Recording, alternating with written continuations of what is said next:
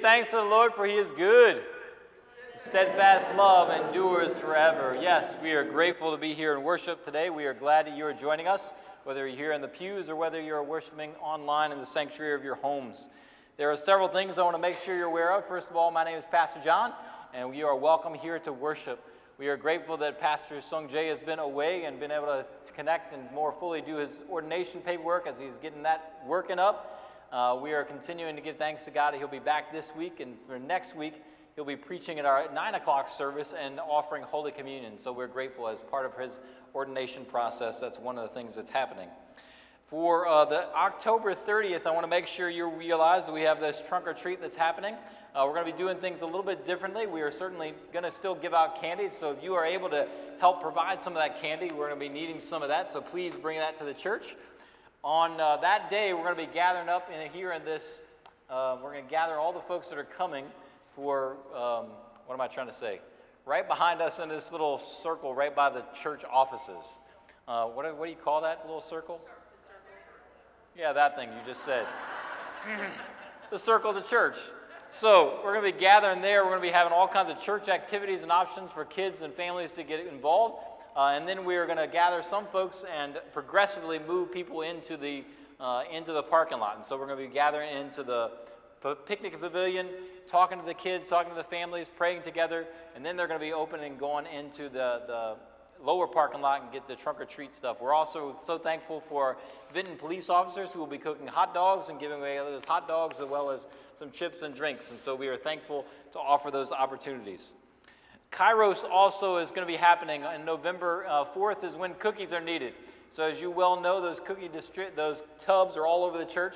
So please make sure to contribute to some of those. We are so thankful for the lives that are changed as those men uh, that are going to be on a men's walk, a men's opportunity that's uh, taking place that second week of November. So November 4 is the deadline for that.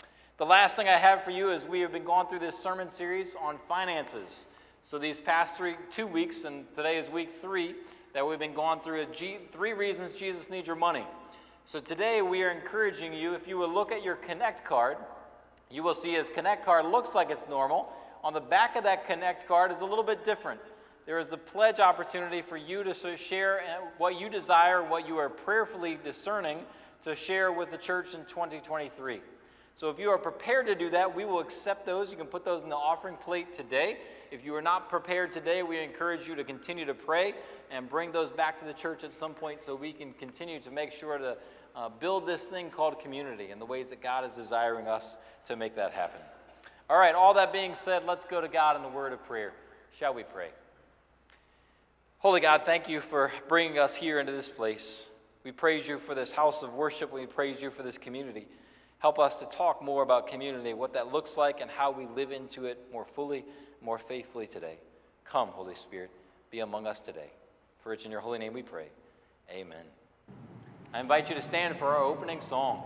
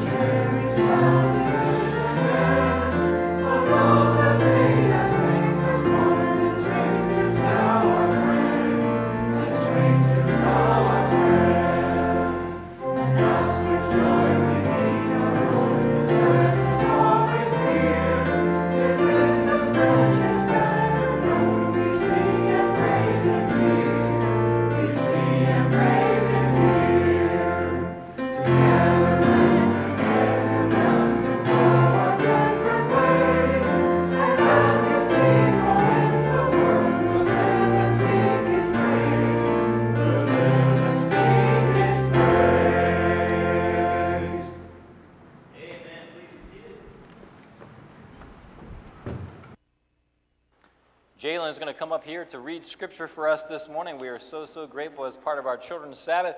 We are grateful for the leadership of kids here this morning. Come on up, Jalen. Oh, we come upon everyone because many wonders and signs were being done. Thoughts of apostles. All who believed were together and had all things in common.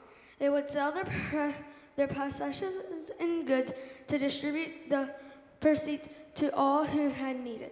Day by day, they spent much time together in the temple and broke bread at home and ate food with glad and generous hearts, praising God and having goodwill of all people. And day by day, the Lord added to their number of whose that were being saved. This is the word of God for the people of God. Amen. Thank you, Jalen, for making that happen. This is a powerful text from Acts chapter 2 that Jalen has read for us, and it is talking about the importance of community and how community is formed and how it is shaped and the difference that it's making. It's both joyful, but it's also very difficult. The difficulty comes as we look at this text and realize these people who are giving things away so that no one had need is what we are hearing. It is a very difficult thing for us to wrestle with, trying to figure out how people were doing that, why people were doing that. They were doing it for an incredible reason. And it begins really in Acts chapter 2 at the beginning of this text. So I want to give a little context to this to help us understand toward the end of Acts chapter 2, which is what we are looking at. So if you recall, what takes place at Acts chapter 2 is something called Pentecost. Anybody remember that? What takes place at Pentecost? The Holy Spirit comes and pours out on all the believers that were there in Jerusalem. There were 120 that were gathered together in Jerusalem, and the Holy Spirit comes and is poured out on all of them. And incredible things take place as people begin to speak in languages that they were not familiar with previously. And all of a sudden, what they are hearing, all these people that were gathering together, they were hearing their own mother tongue being spoken. And they were able to hear God's mighty deeds of power. Incredible things were taking place. Peter then stood up and preached a powerful sermon to the point where Scripture tells us how many people, does anybody recall how many people then joined the church of that day? About 3,000. You guys know your Scripture. About 3,000, we are told. So they go from about 120 to about 3,120. That sounds like some great numerical growth, doesn't it? Incredible. They go from 120, quote unquote, large or a smaller church to really a mega church in one day. In the midst of that, that is where we are at this passage. That is where the place where they were, and now they're co- we're coming to the part where we had just talked about what Jalen was speaking about. But there's one part that we haven't talked about yet, and it's verse 42. So we intentionally began in verse 43 that talks about all came upon everyone because many wonders and signs were being done by the apostles. But the reason this community was existing was because of the Holy Spirit. The reason this community was being able to be sustained was certainly by the Holy Spirit, but by other things too. And verse 42 helps us understand that. And so I want to look back and read verse 42 for you. It says this They devoted themselves to the apostles' teachings and fellowship, to the breaking of bread and prayers.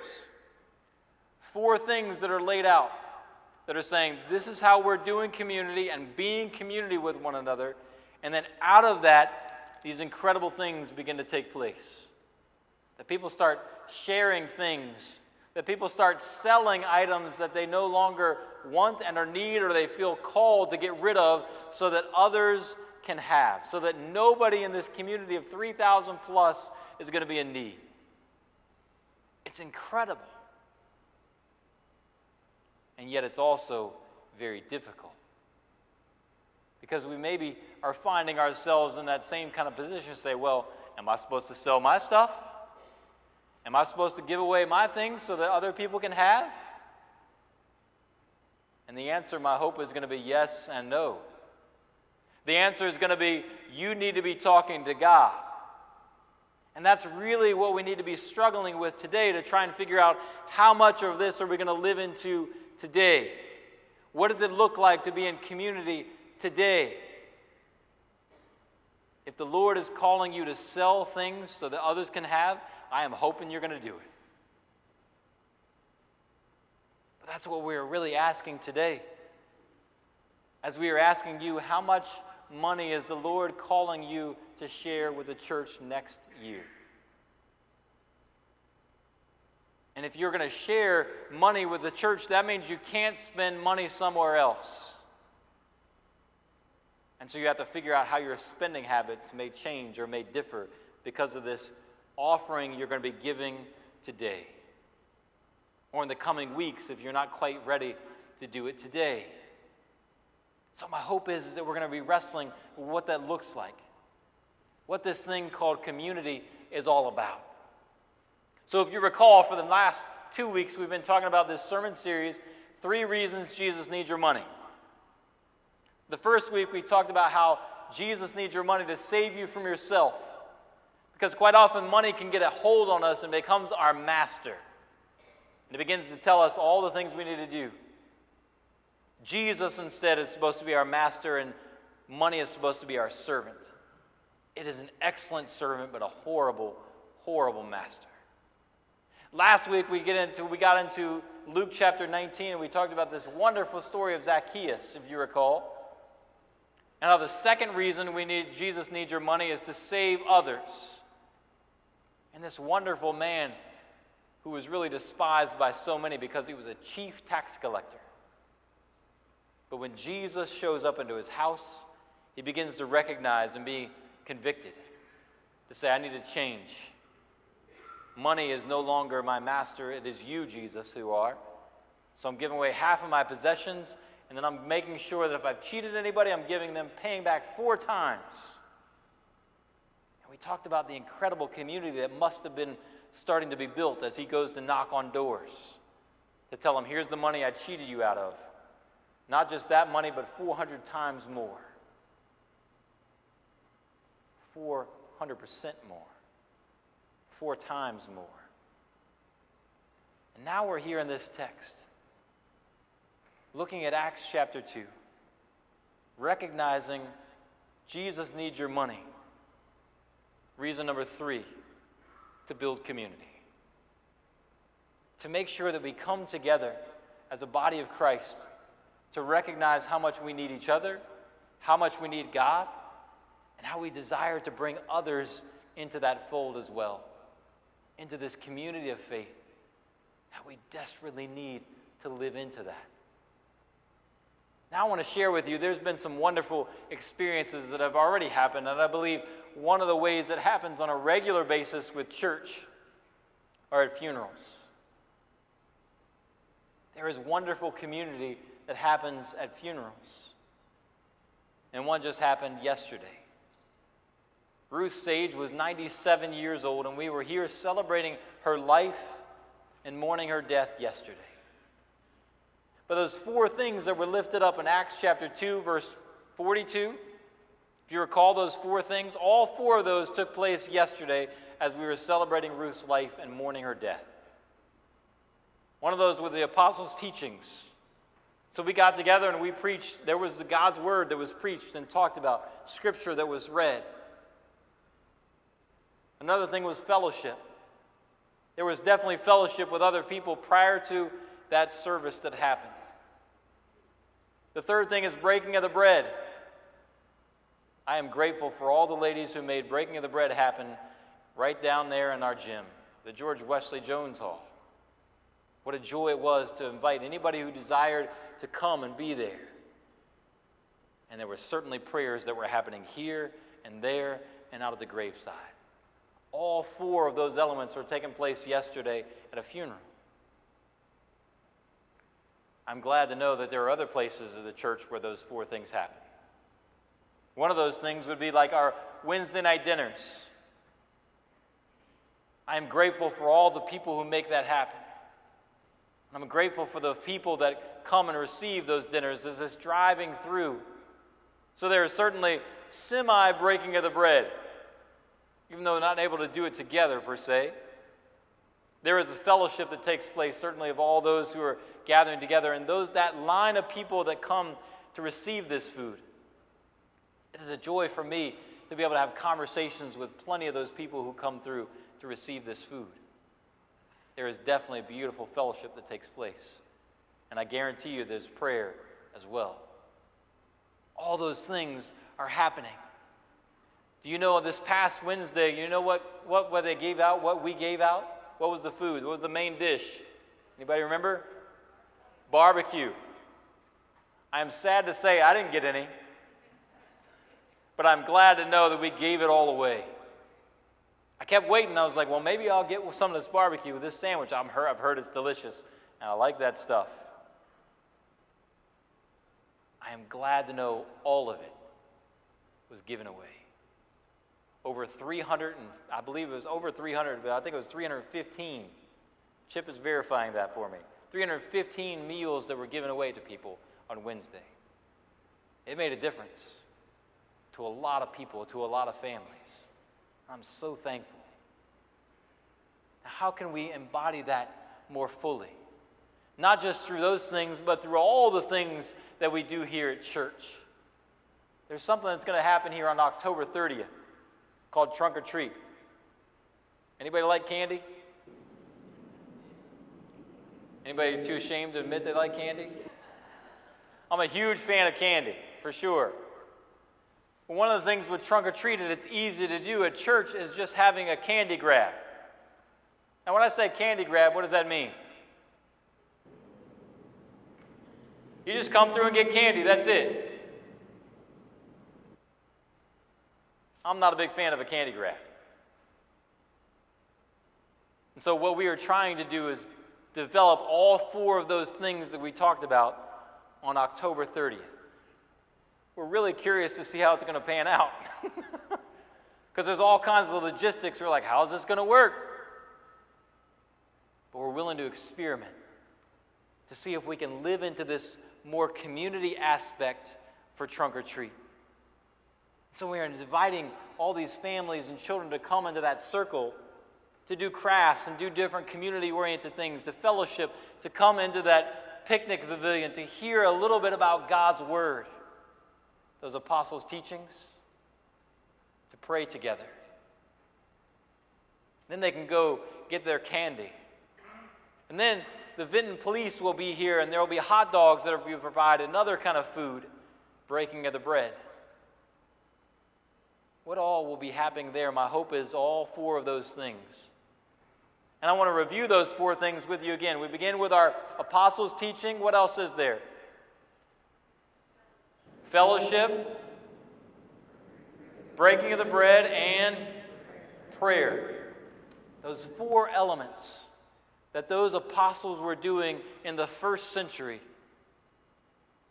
Because of those things, and because of the Holy Spirit who had been poured out upon them, we too get to live into that same reality. But what do we do with it? My hope is we share it. We say, let me tell you, let me tell you about the things that God is doing. Let me tell you about the ways that God is working. Let me share this with you. It can be candy for sure, and I'm glad candy will be there because I plan on eating some. But we're going to share other things as well. And Jesus is the most important piece. He said, Let me share with you about Jesus, who loves you so desperately, who loves me so desperately, who saved us, who went to the cross and died for our sins. That's a story I want to make sure you're aware of. We're glad you can be here to hear that. And we are striving to embody that. So, here, take this, have this, take this. Because Jesus loves us and we want to love you as well. Now, it's hard to do that. It is hard to do that. And so there is all kinds of quotes that my hope is that help us understand the value of this reality. And one of those quotes that I want to share with you, with you is from a book that I talked about last week a Spirituality of Fundraising by Henri Nouwen. And so there are two different pages in here that I want to share with you that talks about the importance of this thing that we are doing, trying to create and embody community, Christ's community. He says this on page 24 Even a seemingly small act of generosity can grow into something far beyond what we could ever ask or imagine.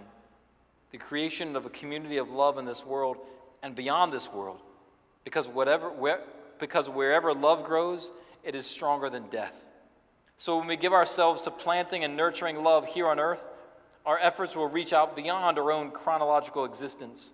Indeed, if we raise funds for the creation of a community of love, we are, we are helping God build the kingdom. We are doing exactly what we are supposed to do as Christians. Paul is clear about this make love your aim. That is the difference that money can make in our lives and in our community. He goes on to say this on page 49 How does spiritual communion manifest itself concretely? When fundraising as ministry calls us together in communion with God and with one another, it must hold out the real possibility of friendship and community. People have such a need for friendship and for community that fundraising has to be community building. I wonder how many churches and charitable organizations realize that community is one of the greatest gifts they have to offer. That community is one of the greatest gifts they have to offer. If we ask for money, it means that we offer a new fellowship, a new brotherhood, a new sisterhood, a new way of belonging. We have something to offer friendship, prayer, peace, love, fidelity, affection, ministry with those in need. And these things are so valuable that people are willing to make their resources available to sustain them. Fundraising must always aim to create new, lasting relationships. So he's talking about the money that we give when it is used to build Christ's community, it is incredible what happens. And that is what we desire to do here more fully, more faithfully. Yes, I believe there are some wonderful things that we have done and continue to do, but we can do better. And my hope is that we remember those four elements. Those four elements that we talked about from Acts chapter 2. In one of our commentaries called Feasting on the Word, there's an author that helped explain a little bit more about these four elements of apostles' teaching and fellowship, breaking of the bread, and prayer. Gary Neal Hansen is the one I want to quote for you today. And he talks about there's one the first quote in this text, he says this. Though scripture does not make it standard, and that standard practice is basically us sharing all of our goods or selling all our possessions so that others can need or others in, that aren't in need. It's saying that is not a standard practice. However, if you feel called to go and sell your stuff so that others can have that you that do not, you better do it. If you feel called to make that happen. So it says, though scripture does not make it standard, this picture of sacrificial giving for communal needs is appealing. It is a challenge to Christians in an affluent society, especially one where personal autonomy and acquisition of wealth or ideals. He then goes on to share about those four other elements, and one of the ones I want to make sure to share with you is about fellowship. He says this A mark of authenticity and vitality in a congregation is the quality of people's relationships and their efforts to include others in those relationships. There are churches that view themselves as friendly and welcoming, but within which a visitor will not be drawn into conversation where even members can suffer silently, unknown, and unloved. Devotion to fellowship means nurturing the habits of hospitality, and it takes work. What does it take? It takes work. It's hard. It takes courage to notice a newcomer, helping him or her to, to find the coat rack or the, clo- or the classroom. It takes initiative to invite someone to lunch or a cup of coffee after worship those early Christians did enjoy breaking bread in their homes. It takes, creating, it takes creativity to start a regular gathering where a small group can begin to know and to care for each other. With devotion to fellowship, people are made to feel at home, growing close enough for genuine rejoicing, encouragement, and support. See, I believe most of you have felt that. Most of you have experienced that reality. Otherwise, you wouldn't be coming back to this place week after week after week. The beauty is we get to share it with others. It's not just for us to keep, it's not just for us to hold on to. Fellowship is for us to share. to bring others into our mix so that they too can experience this beautiful thing called community Christ's community. Wow, it is awesome. One of the things I am hoping that we can live into more fully here at Thrasher Church happens on Wednesday nights. And it's that Wednesday night meal. As people are driving, are driving through, there are time after time I've heard, Are you going to open up in, to come inside again? Are you going to do that? I said, We're hoping to. Not yet. Why do you think we're just hoping to and not yet? Why do we not just go ahead and open it up so people can come inside and eat and they can also come through the drive through? Why do we not do that? Say again? We don't want to make people sick. That's one of the reasons for sure. What's another reason? No helpers. We don't have enough people who desire to do this work to come in and help serve. It takes work. For all those folks that gather there every Wednesday night, it takes work. For if we are letting other folks come inside the church, guess what it takes? Work. Actually, more work. Because from my understanding, what happens in the past is you get out the real dishes. You get out the real cups. You get out the real silverware. And so, guess what has to be done with those? You got to wash it, you got to clean up. So it's not just about serving and making sure those meals get out to folks, but it's making sure all that gets cleaned up. But it's also about fellowship. It's also about the apostles' teaching. It's also about breaking bread. And it's also about prayer. you know, if we did those things all in that space, we could do that again a little bit more fully. But it takes intentionality, it takes effort, it takes work, it takes us saying, Is this something we desire to do? Lord, are you leading us in that direction to embody community a little more fully? There are other ways that we can do it as well. And it takes us to try and prayerfully discern and figure that out together.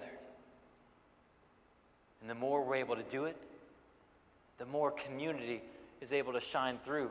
Not simply community just so we can be together. That is not what I'm talking about. I'm talking about Christ's community. When we embody Jesus with ourselves. When we can make sure that people recognize and see Jesus through us. When we can hear and share Christ's word through this thing called the Bible when we can fellowship with one another and actually have conversations with others and be genuine about it. I actually want to get to know you.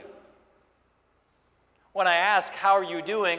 I don't want just some pat answer to say, Fine. Eh, I'm okay. I actually care about how you're doing. And if you're not doing well, I want to hear about it. And if you're doing well, I want to celebrate with you. And if you need help, I want to walk alongside of you. And if I can provide any of that help, wow, maybe I can do that. When we embody all four of those elements, there are incredible, miraculous things that take place. I don't know about you, but I like to see that. I like to see it more regularly.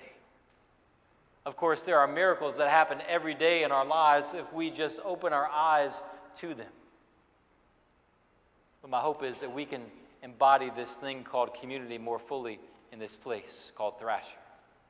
So, not only the people that are connected to this church, but the people that are connected to this community, the people that are connected to the Roanoke area, the people that are connected to Virginia Conference, the people that are connected to the world are able to recognize wow, that, those are the folks in Vinton. Those are the folks at Thrasher that care about Jesus that are trying to embody community more fully. Yeah, that's us.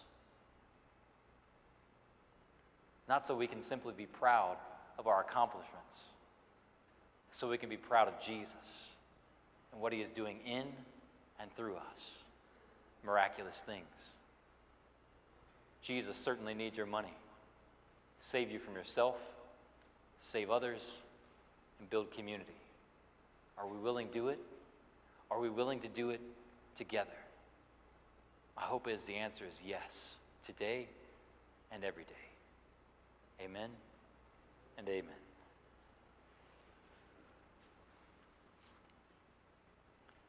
Please stand as you're able as we affirm our faith found in the Apostles' Creed.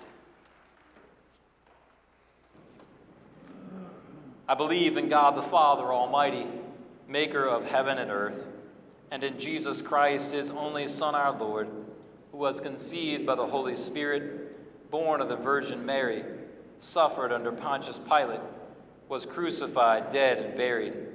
The third day he rose from the dead he ascended into heaven and sitteth at the right hand of God the Father Almighty. From thence he shall come to judge the quick and the dead.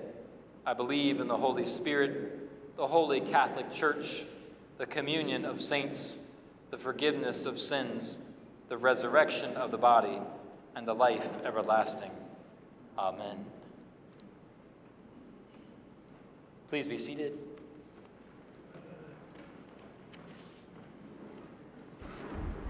Thank you.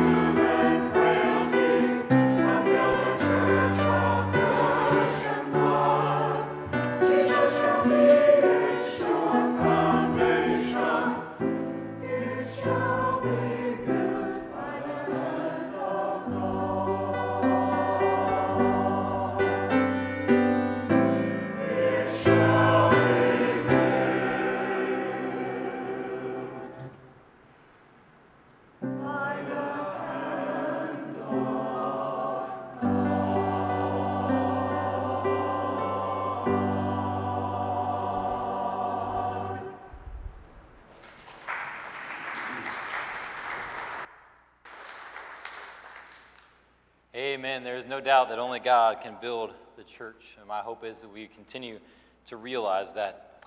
We take this time now for prayers, joys, and concerns. I want to make sure to share with you in your Connect card, there is a space for uh, adding joys and concerns if you want to be added to our prayer list. We have a very long prayer list. We are so grateful to have all those folks we want to continue to lift up.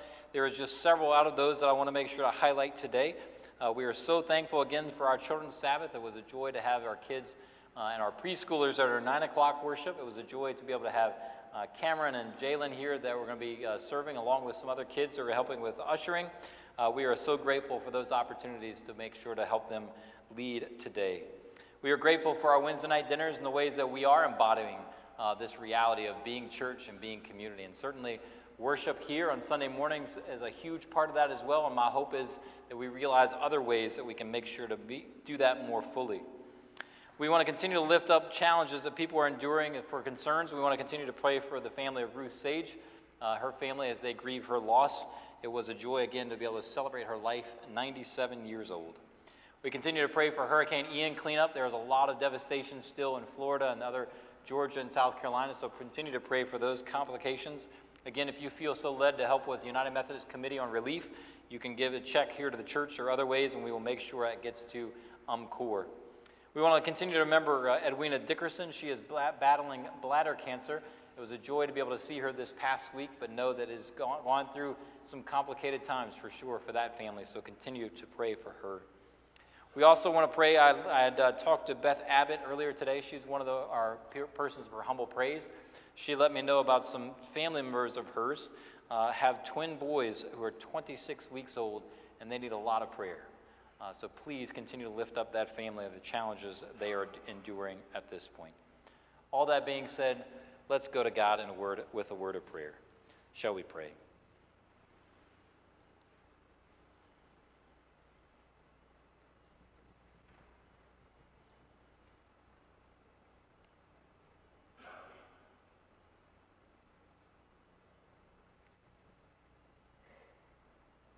Holy God, what a joy it is to hear your voice today.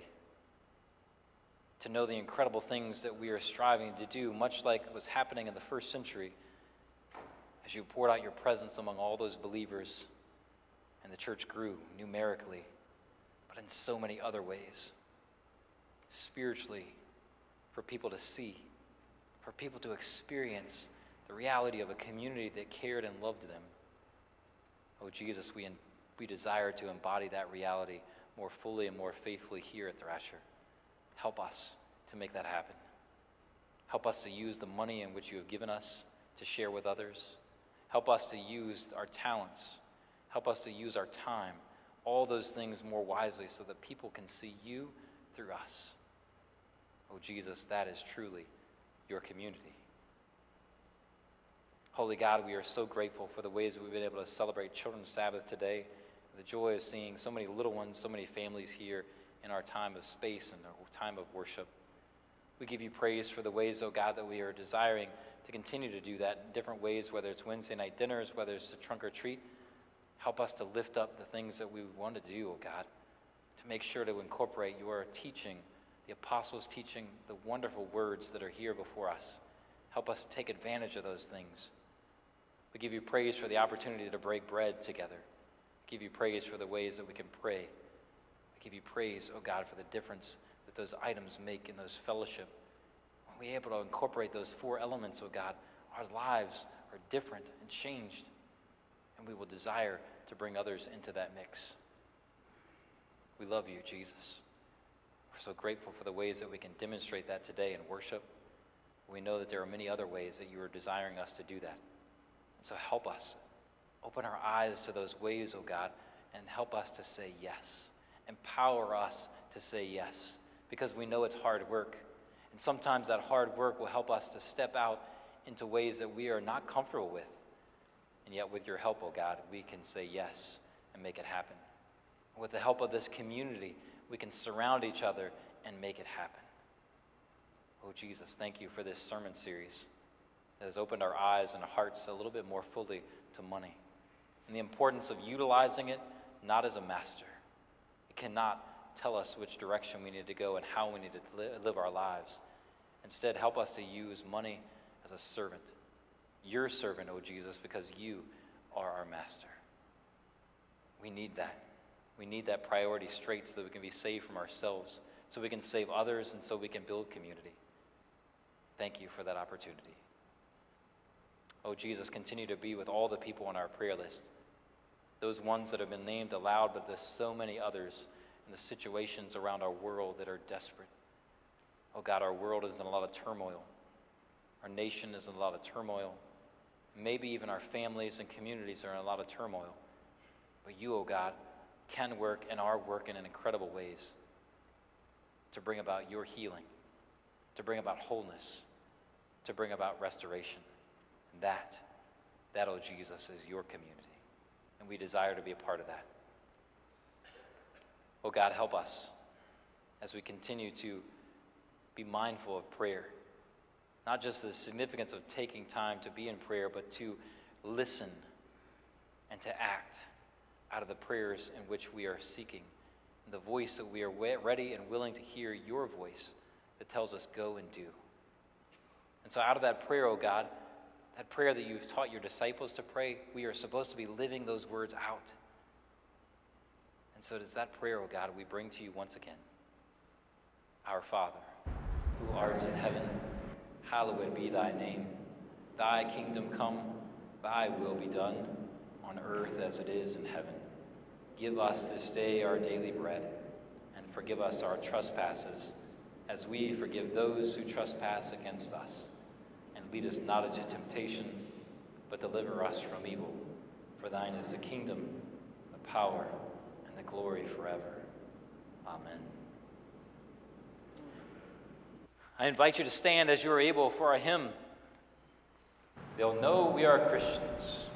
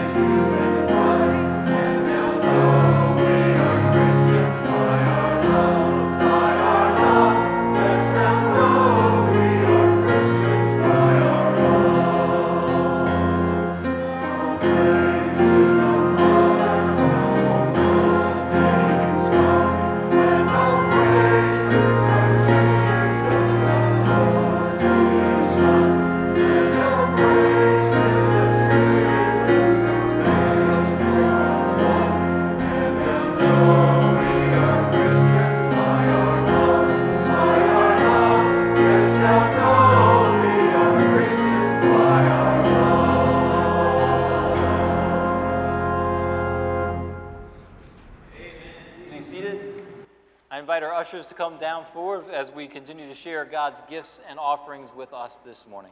If you are prepared to give those pledge offerings, please put those in the offering plate.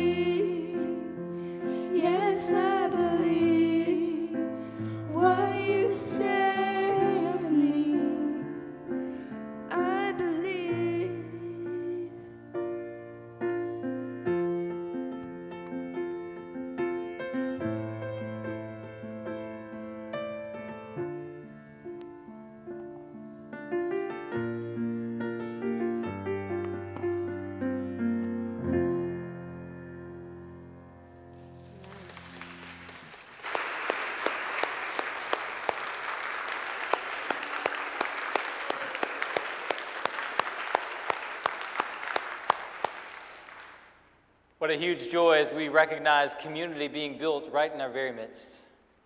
My hope is that we can see that more fully in all the things that we've got going on, all the things that we are desiring to do to give back to the Lord, and recognize to be, bring others into that fold as well in this incredible place called Thrasher Church. Amen and amen. Please stand as you're able for our closing hymn.